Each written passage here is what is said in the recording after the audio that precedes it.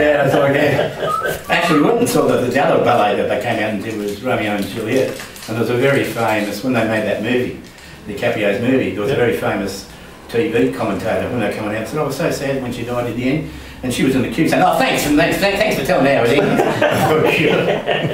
it um, this is, uh, it's a story that, uh, it's actually, it's called A Gift.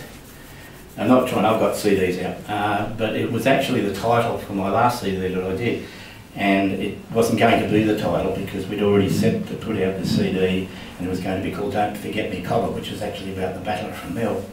Had everything done, we had the, we had the colours designed, the whole box.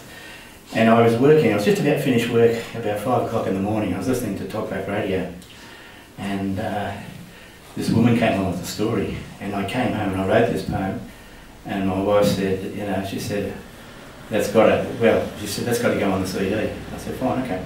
She said, and we're going to have to change the cover. So we changed the cover so it looked like a, a gift.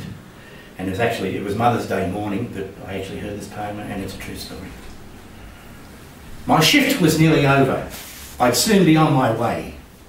The eastern sky would herald in another Mother's Day. I tuned into a talkback show as the dawn did slowly creep, the switchboard seemed to be jam-packed with women who could not sleep. The subject seemed to focus on strange gifts they had received, and some of these weird presents just couldn't be believed. Lawn mowers and spanner sets might be the choice for some, but I find them inappropriate for that special mum. When it comes to showing gratitude, you may pay out great amounts, but when it's all said and done, it's the thought that truly counts. For the smallest token from one's heart, made with loving care, is often the true reflection of the love that you both share. Then her voice came on the airwaves, free of others' gripes, with a soft and gentle accent from the land of stars and stripes. I listened on intently to the story that she weaved, as she told us of the special gift that she had once received. A little pair of earrings, shaped like two butterflies. The simple proof of her son's love brought tears to his mother's eyes. He'd left the price tag on them, and she felt a little sad as she realised her five-year-old had spent every cent he had. She wore them every Mother's Day, and you could always tell when her son was in the limelight she wore them then as well. She wore them when he went to war and shed such bitter tears when she got that dreaded call that every parent fears. Like his mates who went before him, he passed with no regret, cut down in Afghanistan by a foe he never met.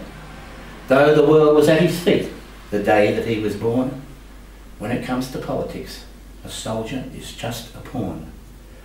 In a flag-draped coffin, he came home from the fray, and she buried him in Arlington, where her nation's heroes lay. She sat there, broken-hearted, feeling so bereft. Her memories and his butterflies were all that she had left. Those tiny pair of earrings are now worth more than gold, and this grown man was moved to tears by the story that she told. I drove home quietly thinking, with a heart that seemed like lead silently reflecting on every word she'd said. When I arrived, I gazed upon the photos on the wall of my children in their uniforms, standing proud and tall, and I prayed to God in heaven, please grant me this one goal, that I may never have to pay that grieving mother's toll. Mm.